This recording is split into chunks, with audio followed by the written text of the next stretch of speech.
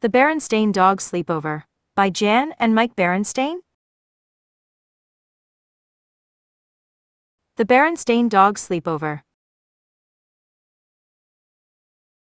Nobita and Shizuka were having a sleepover. Annie and Susie are Nobita and Shizuka's best friends.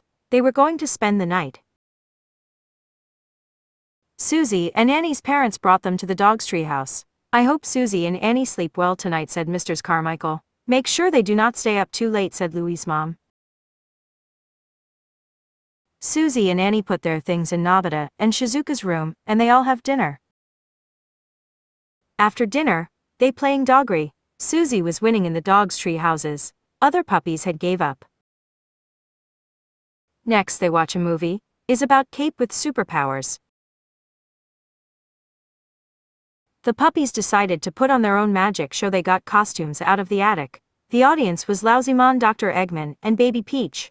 The show went well until Annie tripped on his magic cape he knocked over Nobita Shizuka and Susie they laughed and laughed.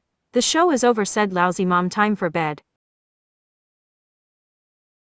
The puppies put on their pajamas. They washed up and brushed their teeth Lousy Mom and Dr. Eggman read them a bedtime story and tuck their in. Good night everybody said Lousy Mom turn off the lights. Lousy Mom and Dr. Eggman went to bed and were soon asleep. But the puppies were not at all sleepy Nobita got out his flashlight. Let's tell spooky stories said Nobita. Lousy Mom woke up she thought she heard something. She woke Dr. Eggman. And they went to the puppy's room. Shizuka and Susie hiding the covers. Nobita and Annie seemed to be sleeping. What is going on here asked Dr. Eggman. Nobita has tell spooky stories said Shizuka. And Susie got scared and yelled. That enough spooky stories said Lousy Mom now everybody go to sleep. Lousy Mom and Dr. Eggman went back to bed.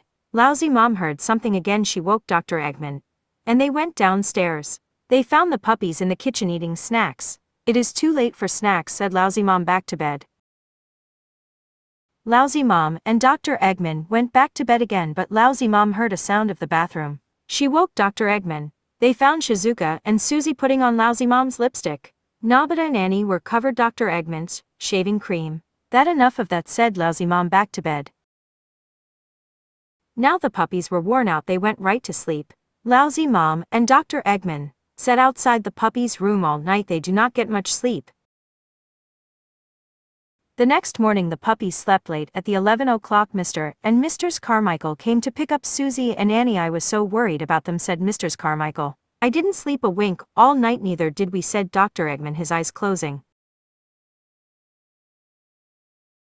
After Susie and Annie went home, Lousy Mom and Dr. Eggman sat down on the sofa. They were soon asleep. It was Lousy Mom and Dr. Eggman's turn for a sleepover.